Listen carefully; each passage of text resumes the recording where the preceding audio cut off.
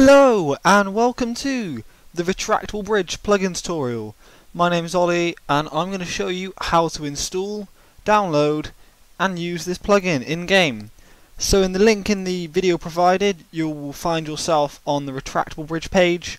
Once on here you click download on the top right, download again, save the file and then go on to Windows Explorer to your downloads and you will find the plugin.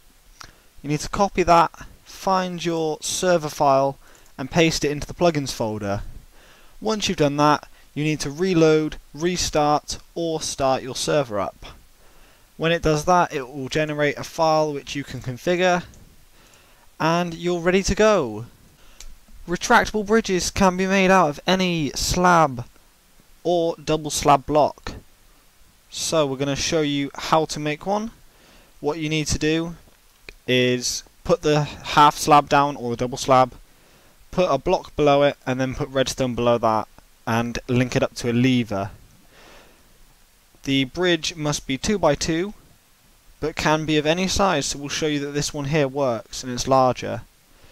You must also remember that the bridge has to be blocked in three different directions so that it knows which way to travel and I'll show you what I mean by that.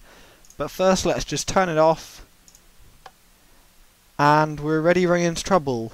One of the problems with retractable bridges is if they move longer than or the same as their length then they're going to need another bit of redstone here to power them. So we're going to put a bit of redstone there and it can power and move back. And it works. Something you might have picked up on if you're a bit observant is this actually moves in the direction to the right relative to me. It moves slower than the other one and that's because it's got one bit of power whereas the other bridge will have two bits of power and when it goes back it's got two and so you can actually speed it up or slow it down depending upon the speed you know the redstone that is there just to show you that you do have problems if you don't make it know which way to go. We've got the bridge able to go in this direction or this direction and it's got confused and therefore doesn't work. But as soon as we put another block in, it understands where it needs to go and what it needs to do. So, let's just quickly show you that the bridge can be made out of double slabs. However, it can't be a mix of the two. It's gotta be a whole set of double slabs or single slabs. And although it looks like the same as, say, oak wood planks, you cannot use regular planks. And that's because they have a different ID to a double slab, despite looking identical.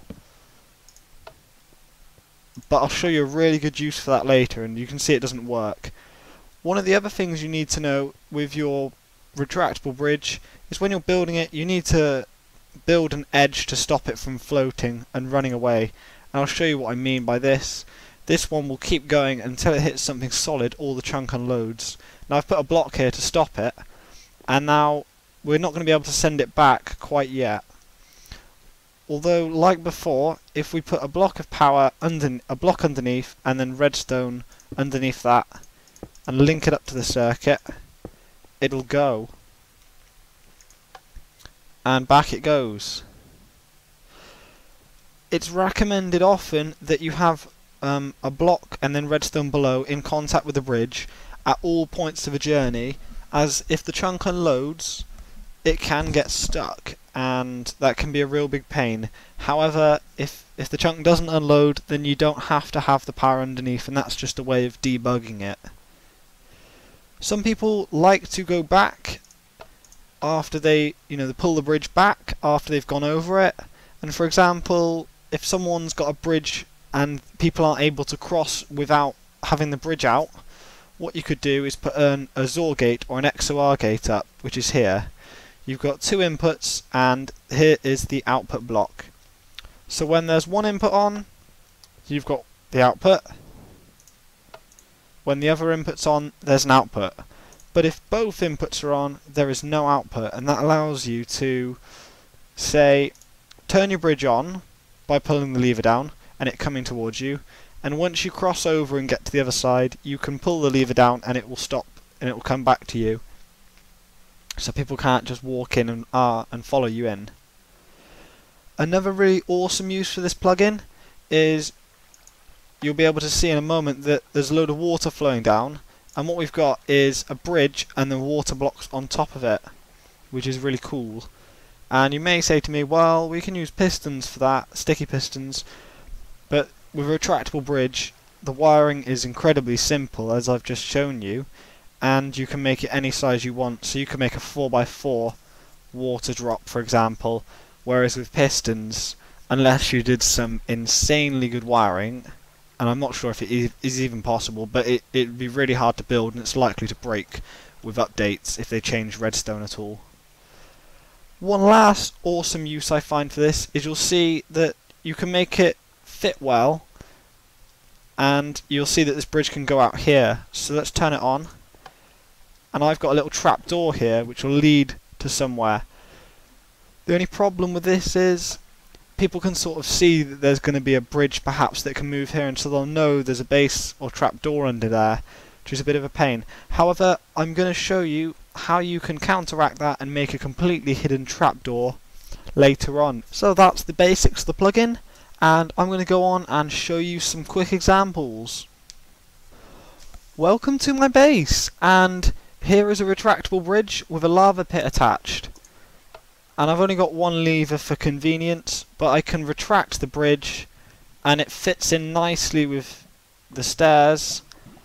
And what it what I'm doing this for is to stop players from being able to jump in and cross over to my base and because it's one and a half blocks high you can't actually jump it it's like a fence and so that prevents people from being able to actually get into my base when I don't want them to and I'm just going to quickly now show you the trapdoor design. So we're into the trapdoor and this is the trapdoor below here. Now if you take a quick look you've got stairs surrounding three edges.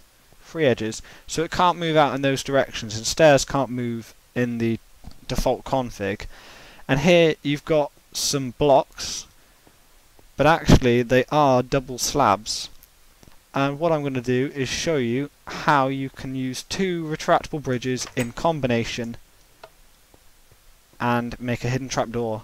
So underneath here the bridge is just pushed through to the wall and if you look it's come through and it comes under here. So when it's when it's powered off it will it will come back out when it's powered on even sorry.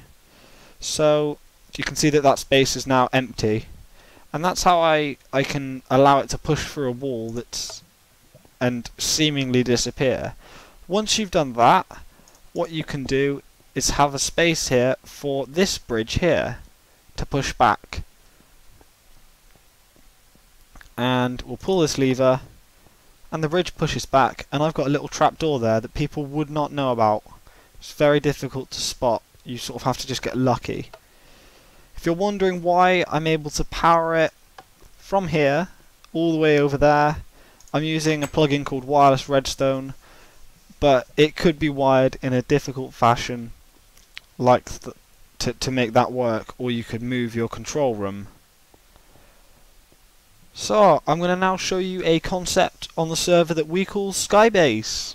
So it's obviously a work in progress, but the basic idea is that we have a central hub and a communal area and then people have bases that are floating in the sky with nothing on the ground and you can get between the two by using a retractable bridge that floats over space. So we're gonna set ourselves off and obviously it is a bit is a bit funny and you does make people feel a little sick. But we will travel to my sky base. There is one known problem with this, and if the player is not on a bridge, then you can actually come across a problem where the chunk could un could unload and the bridge would get stuck in midair, and that would require you to build up to that bridge and then remove it and replace it. So at the other end was a set of redstone, and that was one of the launch pads. And at this end, there's also a redstone setup and a lever for another launch pad. And lastly, I'm just going to quickly show you my castle, which incorporates Port which is the sister plugin of Retractable Bridge, Retractable Bridge, and some wireless redstone into a funky design. Let's walk inside, and have a look. If you might notice, this here is a bridge, and there's the portcullis using the PorteCoulissante plugin. So I'll show you how those work. You can raise and lower the portcullis in a similar way to the bridge, except it does vertical movements. And then you've got the bridge that can come back. So I hope you have enjoyed the video, and thank you very much for watching.